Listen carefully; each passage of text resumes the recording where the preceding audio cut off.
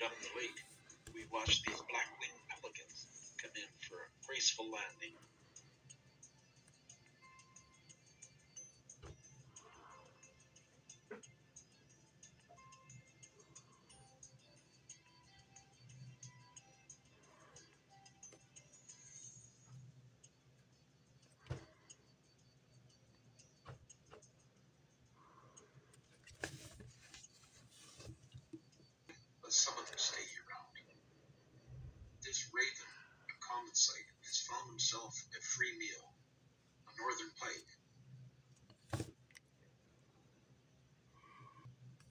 There's a large population of elk within the boundaries of Prince Albert National Park, so an encounter with an elk is common. As we came to the narrowing of the landmass and were navigating the extreme shallows of the water, on one of the islands, we spotted this cow elk watching us as we idled by, navigating the shallows.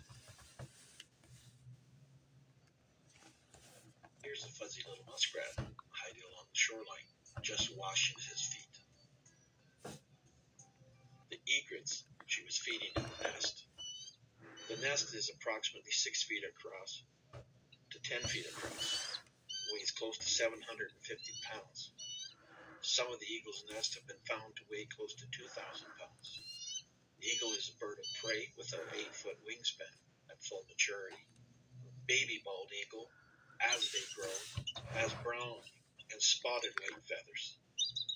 They don't get their full maturity, full white head and tail feathers, until beyond the fourth year. These Canadian geese caught us off guard as they exploded from the tall grass. Like I say, be ever vigilant. The beaver, Canada's national symbol, Grey Owl's passion. These animals can be found anywhere in Canada. They're more prevalent here, though, protected, left alone to their own devices. This animal will be found in tributaries, waterways, ponds, lakes, rivers, anywhere where it's wet, anywhere they can get food, anywhere where the water is deep enough that it won't freeze down to the bottom over winter.